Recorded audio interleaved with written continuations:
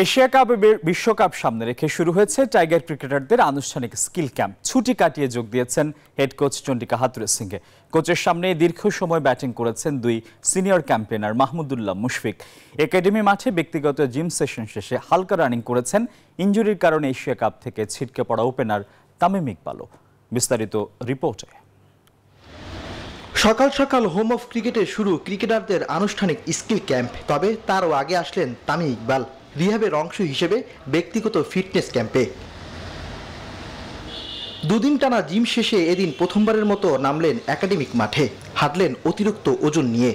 তবে হাতুরু তো দূরের কথা, তামিমের দর্শন পাননি জাতীয় দলের ক্রিকেটাররাও। একাডেমি মাঠ ছাড়লেন অনেকটা নিবৃতে।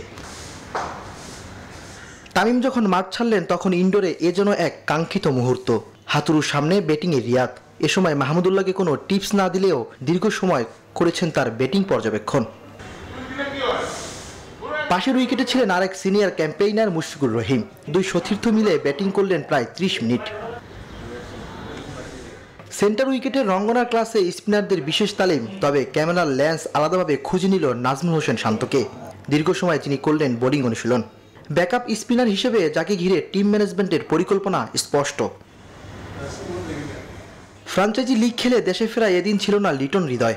তারা যোগ দেবেন বিশ্রাম শেষে। তবে ঘাম জড়িয়েছেন হাসান এবাদত তাসকিনরা।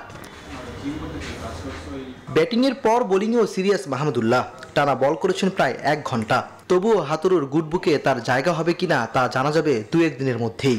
এশিয়া কাপের দল ঘোষণার পর। Imran Hossain, news twenty Dhaka.